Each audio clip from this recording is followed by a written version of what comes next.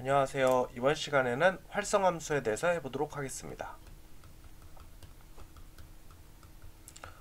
활성함수의 개념은요, 우리의 역칠 같은 걸 생각하시면 좋아요.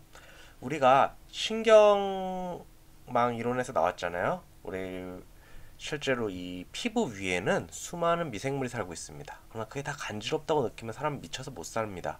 어느 정도 힘 이상이 팡 가해져야지 그때부터 느껴지는 거거든요. 이런 아이디어의 착안에서 우리가 어떤 힘을 받았을 때 그 이상, 그 이상이었을 때 이것을 걸러낼 수 있는 그런 함수를 활성함수라고 보시면 됩니다. 그래서 우리는 결국 알고 싶은 게 뭐예요? 0, 1 구분을 하고 싶은 겁니다. 그러기 위해서 기존의 z값이 나오게 되죠. w1, x1 플러스 w2, x2 이런 식으로 쭉 값이 나오게 됩니다. 이 값이 얼마부터 얼마인지 우리가 알 수가 없어요. 이 x의 크기에 따라 다 다르고요. 이 결정되는 w 값에 따라 다 다릅니다. 이 아무리 그 표준화를 해준다고 해도 실제로 표준화를 안 하고 실시할 수도 있기 때문에 실제 z 값은 정말 마이너스 무한대에서 무한대까지 자유롭게 나올 수가 있습니다. 우리가 이걸 갖고 이걸 구분해내기는 너무나 힘듭니다. 이렇게 0, 1을. 그래서 그 사이에 이 함수를 0과 1 사이의 함수로 만들어주는 거예요. 그래갖고 1에 가까우면은 1, 0에 가까우면은 0 이런 식으로 구분을 해주게 하는 것이 바로 활성 함수입니다. 그래서 대표적으로 대표적으로 쓰는 게 sigmoid 함수입니다. sigmoid 함수. sigmoid 함수라고 실제로 1 플러스 e 마이너스 z 1 이런 식으로 되고 이 함수는 이런 식으로 모양이 이루어져 있습니다. 마이너스 무한대에서 무한대까지라고 했을 때 여기 밑에는 0, 1 1은 거의 무한대까지 닿아야지 도달이 됩니다. 그래서 어떤 z값을 받았을 때요. 이 z값이 어, 예를 들어 0 하면은 어떻게 될까요? 0이면 1이니까 딱 0.5를 받습니다. 그래서 이 값에 따라서 한 요 정도 한900 들어왔으면은 당연히 1에 가까워졌기 때문에 이 값은 1로 어, 판결이 나게 되고요. 뭐 예를 들어 마이너스 400 하면 당연히 이쪽에 있으니까 이렇게 그 뭐 0에 가까우니까 0 이렇게 판결을 내게 되는 것입니다. 그래서 시그모이드 함수는 우리 이진으로 구분할 때 최후, 최, 최후 출력층에 사용이 되게 됩니다. 이런 식으로 사용이 되게 됩니다. 이제 그 다음에 많이 쓰는 게 바로 레릴로 함수라는 겁니다. 레릴로 함수. 레릴로 함수는 비슷한데 한 가지 다른 게 있습니다. 이렇게 x축이 있고 y축이 있을 때 나머지는 다 똑같아요. 다 이렇게 0입니다. 0이다가 0 이상에 있어서는 그대로 y는 x랑 동등하게 들어갑니다. 즉 x가 들어온 만큼 y도 나오게 됩니다. 실제로 맥삼수긴 한데 그냥 같은 거라고 생각하시면 돼요. y는 x랑 같다고 생각하시면 됩니다. 어, 아까 0, 1 사이로 뱉어줘야 된다면서요. 맞습니다. 그러나 이걸 언제 쓰냐면요. 층이 있을 때 이 중간층에서 사용이 됩니다. 이 중간층. 왜 이 중간층을 사용을 해야 되냐라는 의문이 드실 텐데요. 간단합니다. 여기서 출력층으로 최종적으로 이제 우리 시그모이드 함수가 들어가서 0, 1로 나누게 되잖아요. 근데 문제는요. 여기서부터 0, 1로 나눠버리면 안 돼요. 왜냐면 여기서 어떤 값이 들어갈 텐데 이미 여기서 다 0, 1로 만들어버리면은 이 안에서 나오는 값은 되게 한정적일 겁니다. 당연히 성능이 떨어집니다. 여기 중간에 hidden layer, 출력층에서는 아주 자유롭게 놀아야 됩니다. 단 어느 숫자 이하는 잘라버리되 이 이상, 이 이상은 자유로운 값이 보장이 돼야 되는 겁니다. 그래야지 최종적으로 마지막에 자르자는 거예요. 우리도 뭐 돈 계산 같은 거 하거나 이럴 때요, 혹은 뭔가를 걸러낼 때 그 중간 단계는 그냥 자유롭게 돌아가고 최종적으로 딱딱 잘라버리는 낫지 그 중간중간에 다 신경을 쓰다 보면 최종적인 값이 이상해집니다. 여기서 막 데이터가 막 250, 뭐 30, 마이너스 270, 뭐 이런 식의 자유롭게 돌아가다가 여기서 0, 1로 나눠야지. 여기서 이미 1로 만들어 버리고 여기서 뭐 아니면 뭐 0.3, 1로 만들어 버리면 이게 나눠지는 게 너무 부족해지는 겁니다. 그래서 레릴로 함수는 이 중간층에 많이 쓰게 됩니다. 그 다음에 최종적으로는 시그모이드 함수를 쓰게 됩니다. 다양한 활성 함수가 있지만 이거를 대다수가 쓰고 아니 그냥 다 쓴다고 보시면 됩니다. 그렇기 때문에 여러분들은 요거만 써 주신다고 생각하시면 좋습니다. 근데 이제 한 가지 조금 다른 게 있죠. 뭐예요? 여기서 0, 1이 아닌 0, 1, 2, 3 이런 다양한 게 나오면 어떻게 되냐라는 질문이 드실 텐데요. 이때는 우리 소프트맥스 함수를 씁니다.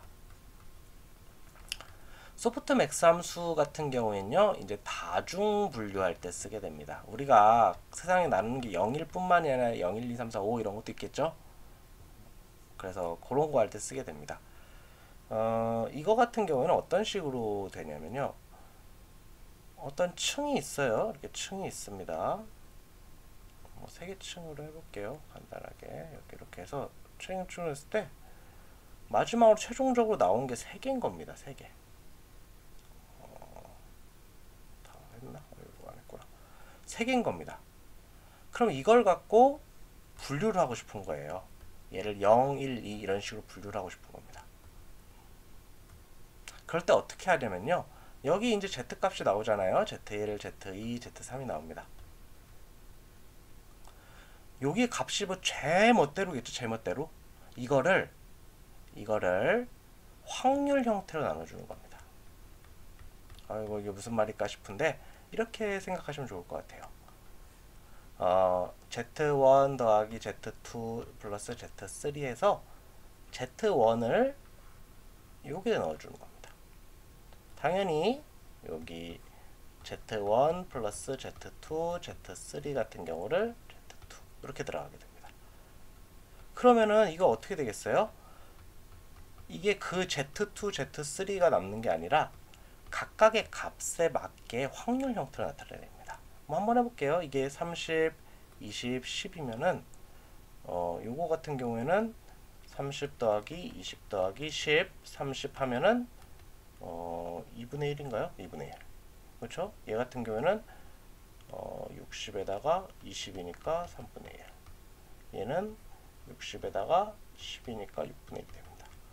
그러면은 어떻게 분류를 하는 거예요? 가장 높은 확률인 얘로 분류되는 겁니다. 얘로 이렇게 분류가 되는 겁니다. 그래서 이렇게 이렇게 결과가 나왔을 때 아, 이거는 분류값이 분류값이 이거 이거야. 어. 0이야 이렇게 분류를 하는 겁니다. 단 지금 보니까 수치가 이렇게 되면요 이렇게 되 이렇게 이런 식으로 계산을 하게 되면 어, 극단적으로 나뉘지가 않아요. 극단적으로 나뉘지가 않, 게 됩니다. 극단적으로 나뉘지 않게 되고 어, 아까 그 요거는 조금 너무 깊이 들어가는 것 같아서 좀 가볍게 얘기하자면은 사실은 이렇게 단순 선형적인 결합을 하게 되면은 요게 효과가 사라지는 효과가 생깁니다. 뭐 중요한 얘기는 아닙니다. 근데 그렇기 때문에 요 결과만 좀 받아들였으면 좋겠는 게 softmax 함수 같은 경우는 지금 원리는 똑같습니다. 원리는 똑같은데 여기서 어떤 식으로 계산하냐면 z1, z2, z3가 나왔을 때 요거를 이 exponential z1, exponential z2, exponential z3 이런 식으로 만들어지게 됩니다. 그 다음에 EZ1 플러스 EZ2 플러스 EZ3분의 뭐 EZ1, Z2, Z3 이런 식으로 만들어지게 되는 겁니다. 아까랑 원리는 똑같습니다. 그 exponential 함수는 약 2.7 얼마 얼마 나오는 값으로서 이렇게 나누게 되면 되게 극단적으로 나누게 됩니다. 예를 들어 아까 어 여기가 그냥 뭐 2, 1, 0이라고 했을 때요. 그냥 이걸로 했으면 3분의 2잖아요. 근데 익스포넨셜로 하면요. 2의 0 플러스 2의 1, 2의 제곱, 그래서 2의 제곱 되기 때문에 이게 더 극단적으로 훨씬 더 숫자가 극단적으로 서로 서로 나누게 됩니다. 당연하겠죠. 여러 개 나뉘는데 서로 이상하게 수치 애매하게 겹쳐 보이는 것보다 확확 나눠지는 게 확률적으로 부, 어, 나누기가 쉽습니다. 그다음 추가적으로 아까 그 살짝 심한 내용이긴 한데 이제 순전파, 역전파를 반복하게 되면은 이제 미분 이런 걸 할 일이 많습니다. 그래서 이제 손실함수 살때 그런 식으로 쓰는데 이에 z 같은 경우는 미분 값이 그대로 나와서 계산하기도 편해요. 그대로 이런 비하인드 스토리가 있습니다. 단 그 기본 원리, 기본 원리만 좀 알아두시면 좋겠습니다. 이렇게 비율을 통해서 확률, 확률을 알아낸다. 라는 식으로 구분한다. 라고 기억하시면 좋을 것 같습니다. 그래서 정리를 해보겠습니다. 우리 활성함수를 통해서 수많은 값들이 나눌 수 있게 만들어주는 함수입니다.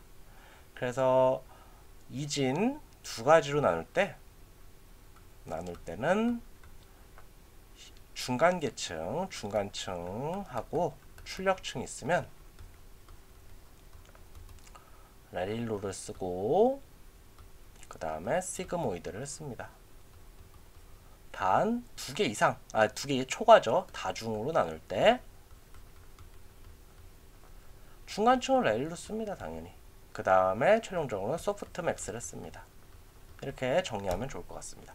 우리 어, ReLU하고 sigmoid는 그동안 많이 구현을 해봤으니까 한번 softmax 구현해 보겠습니다. 또 아주 쉽습니다. 아주 쉬워요. 여기 보시면 이번에는 그 유방암 데이터 같은 경우에 0, 1이기 때문에 와인 데이터 한번 가져와 봤어요. 와인 데이터 같은 경우에는 0, 1, 2로 나뉩니다. 그래서 세 가지 종류로 나눌 수 있는 그런 데이터입니다. 그래서 세 가지 보 0, 1, 2로 나눠져 있는 걸 확실 어, 확인하실 수 있겠죠? 그래서 뭐 똑같이 그 standard scaler하고 타겟 지정하고 똑같습니다. 단 여기서 다른 거 중간에 ReLU 저장하고 마지막에 이 노드가 3개죠. 노드 3개에다가 여기다 softmax 쓰시면 됩니다. softmax 쓰시면 됩니다. 이렇게 해서 돌아가게 되면은 이런 식으로 정확도가 나오게 됩니다. 생각보다 높진 않네요. 단 주의하실 점 여기다가 숫자 다른 거 쓰셔도 되는데 이상해집니다. 1 쓰면 아마 일정하게 계속 똑같이 나올 거예요. 의미가 없습니다. 아주 큰 값 쓰면은 막 정확도가 막 1% 이렇게 나올 겁니다. 그래서 요거 우리가 배 하려는 요 숫자 여기 타겟 요 개수하고 똑같이 맞춰줘야 됩니다. 그래서 요거 이런 식으로. 뭐 실수 안 하도록 요것도 있는데 이렇게 그 요거에 길이 정해 갖고 요거를 그대로 여기다 넣어 주시면은 뭐 중간에 실수할 일 없겠죠? 이런 식으로 할 수도 있습니다. 뭐 이렇게 해서 실수를 줄입니다. 왜냐면 타겟 수가 바뀔 수 있기 때문에. 예, 그래서 오늘은 활성함수를 하였습니다